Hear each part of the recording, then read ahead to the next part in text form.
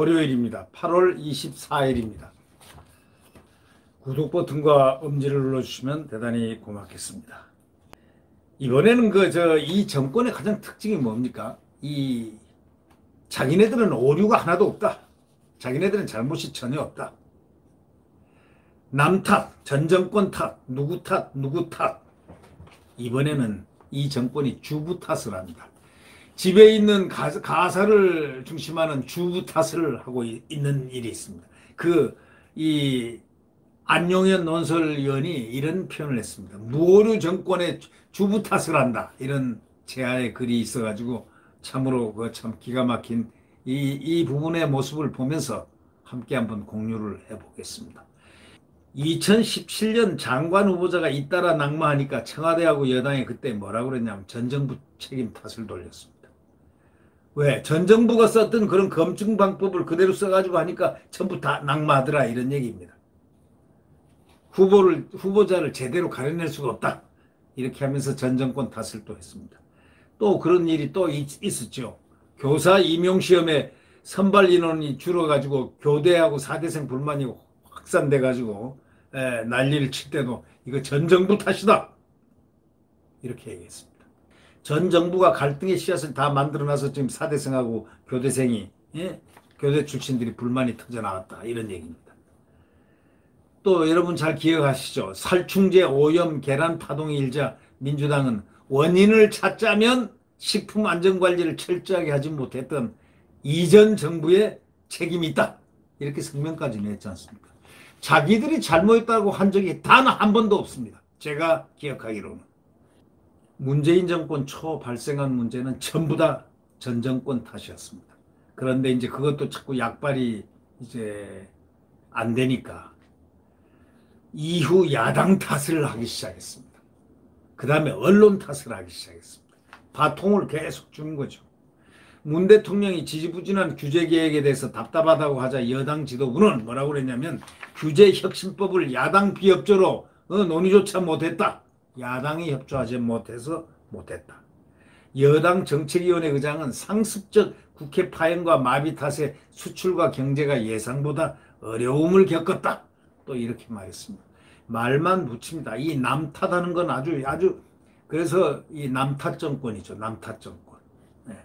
이후에 야당 탓, 언론 탓 막 그냥 막 같이 섞어가면서 에, 탓을 하는 것은 아주 최고의 스킬, 기술을 갖고 있다고 볼 수 있습니다.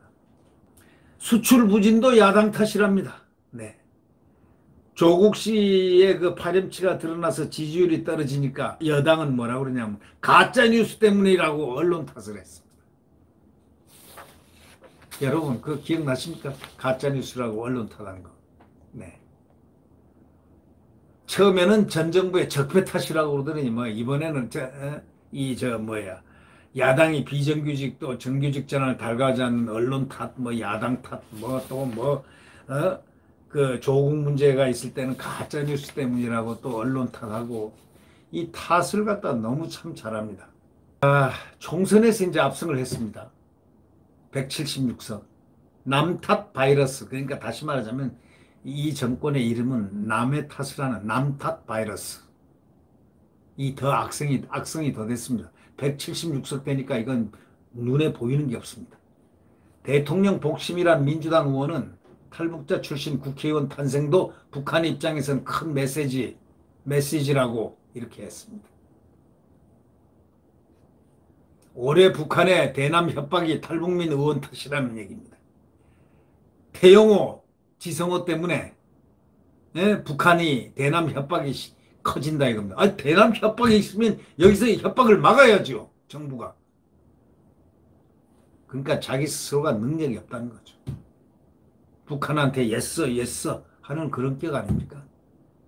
왜 그렇게 해야 되는지 그 이유를 국민들이 지금 잘 모르고 있습니다. 뭔가 이유가 있는 것 같은데 왜 북한한테 껍벅껍벅 하는지 모르겠다. 이거는 아무도 지금 모르고 있습니다. 올해 북한의 그 대남 협박이 탈북민 의원 탓이라는 바로 그겁니다. 그러니까 태영호 그 얼마나 훌륭한 의정 활동을 하고 있습니다. 민주당의 그 어느 누구보다도 태영호 의원이 훌륭한 의정 활동을 하고 있습니다. 대한민국을 위해서. 북핵은 미국 탓이고 한명숙이라는 그 전 뭐 총리를 했던 그 여성, 여성은 뇌물 유죄 판결을 받은 거 그건 검찰 탓이라고 합니다. 인천공항공사 정규직 전환하고 관련해서 청년층이 분노하니까 가짜 뉴스로 촉발됐다 또 이렇게 합니다. 야당이 비정규직의 정규직 전환을 달가워하지 않는다면서 언론 탓, 야당 탓으로 또 돌립니다. 이들의 탓이 너무 심해지니까 결국 어, 이런 글이 나오게 된 겁니다. 이 안용현 논설위원이 그래서 이 글을 쓰게 된 거 아니겠습니까? 추미애 본부장관이 그저께인가 뭐 페이스북에 부동산 급등은 투기 세력 때문이라고 그랬죠. 투기 세력 때문이라고 그랬는데 일반 주부에 이어가지고 젊은 층마저 투기 대열에 뛰어들었다고 했습니다. 일반 주부도 젊은 층도 이제 투기꾼이란 얘기죠. 이렇게 말을 함부로 합니다. 집 한 칸 마련하려고 애쓰는 주부하고 젊은이가 어떻게 투기 세력입니까? 아니 집 없는 사람이 집을 하나 마련하려고 투자하고 투, 하는 게 그게 투기입니까? 집 뭐 조그만 칸에서 좀 큰 칸 가보려고 하는 그 주부의 마음이 그게 투기입니까? 젊은이들이 거기에 집을 찾고 분양받으려고 여기저기 뛰고 뛰고 하는 게 그게 투기입니까? 요즘 이런 말 있지 않습니까? 이생진망. 여러분 들어보셨죠? 이생진망. 이생의 집사기는 망했다 이겁니다. 이생진망. 이생진망이란 말이 아주 유행입니다. 젊은이들에게.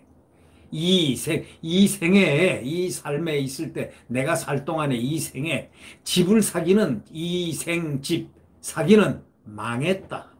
이런 얘기입니다. 이런 이생진망의 불안을 부추긴 게 바로 누굽니까? 얼마 전에 여당 원내대표가 이랬잖아요. 박근혜 정부의 부동산 3법이 아파트 폭등의 원인을 하고 있습니다. 기가 막히. 지난 3년간 그럼 쥐들은 뭐 했습니까? 응? 월급 받으면서 뭐 했느냐고. 예? 권력 가져가지고 뭐 했냐고. 23번이나 부동산 정책 실패에 대한 반성을 하진 않고 23번이나 부동산 정책을 바꾸고 했습니다. 그래 놓고 전 정권 탓도 모자라서 이제는 주부, 젊은이까지 지금 탓을 하고 있습니다. 문 대통령은 취임사에서 이렇게 얘기했죠. 잘못한 일은 잘못했다고 말씀드리겠다. 이렇게 말했습니다. 그런데 이 정권이 사과한 것은 제주 4.3이나 베트남전 참전 같은 과거 정권이 한 일들을 갖다가 사과한 겁니다.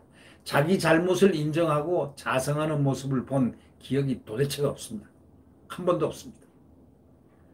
오히려 잘했다고 자랑합니다. 저번에 봤지 않습니까? 코로나, 아, 코로나 이제 진정 기미가 있다고 대통령이 얘기했잖아요. 그런데 그냥 코로나가 만연되기 시작했죠. 이 감염병 학자들이 이렇게 얘기했지 않습니까? 여러분 그 얘기 들어보셨죠? 7말 8초. 7말 8초가 위기입니다. 그 다음에 9월에 그냥 팬데믹 엄청 유행합니다. 이렇게 얘기를 했거든. 할 가능성이 있다. 하고 전부 다 걱정들을 했습니다.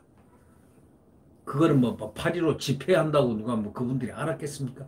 집회하고 그거하고 관계 없다는 거예요.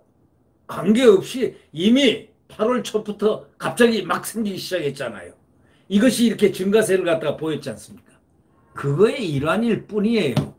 그리고 여러분 잘 아시겠지만 이제는 많이 알려져서 잘 알겠지만 바이러스를 가지고 있는 그, 그 사람이 그날 당일날 가, 이, 저 뭐야, 코로나 걸리는 사람이 어디 있습니까?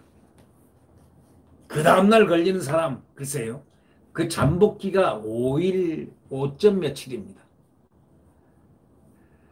그러니까 이런 걸 보면서 이걸 답답하다고 해야 됩니까? 이거를 우라통이 터진다고 해야 됩니까? 오히려 전부 다 잘했다고 자랑을 하니까 그 근거가 뭐냐? 좋은 것만 뽑아내서 만든 통계 숫자를 딱 댑니다. 좋은 것만 뽑아가지고 딱 만들어 놓은 그 특별한 통계 숫자. 이 정도면 결국 이, 어, 이 안용연 논설위원 말대로 무오류 정권, 스스로가 무오류 정권, 오류를 범하지 않는 정권의 주부탁, 주부까지 탓을 하고 있지 않습니까? 부부들이 아 주부들이 집 사러 간다고 어? 이 주부 탓을 하는 이 나라. 그럼 주부들이 집을 사지. 질 젊은 일반 주부에 의해서 젊은 층마저 투기 대열에 뛰어들었다 하고 법무부 장관이라는 사람이 이런 얘기를 합니다. 그러니까 주부도 투기 세력이고 젊은 층도 투기 세력이란 그것 때문에 이렇게 된 것이지 자기네들이 잘못해서 정책을 잘못해서 된 게 아니다 이런 얘기 아니겠습니까? 그래서 이생진망 이생의 집 사기는 망했다는 그런 불안을 부추긴 그게 바로 누구냐 이거예요. 예? 예, 참으로 한심한 한심한 현실입니다. 구독 버튼과 엄지를 눌러주셨으면 고맙겠습니다. 내일 태양은 다시 떠오릅니다. 지금 새벽 4시, 5시 엄청나게 엄동설안의 추운 살을 에이는 듯한 그런 아픔이 있는 그런 추위입니다. 네. 그리고 칠흑 같은 암흑입니다. 그러나 조금만 지나면 한두 시간만 지나면 동력에서 하얀 태양이 파란 태양이 빨간 태양이 빛에 둥둥둥둥 뜨기 시작합니다. 그게 바로 우리의 자유 대한민국의 헌법적 자유가 다시 떠오르는 그 날이 되겠습니다. 곧 태양은 다시 떠오릅니다. 태양은 다시 떠오르고야 맙니다. 구독 버튼과 엄지를 눌러주시면 고맙겠습니다. 안녕히 계십시오.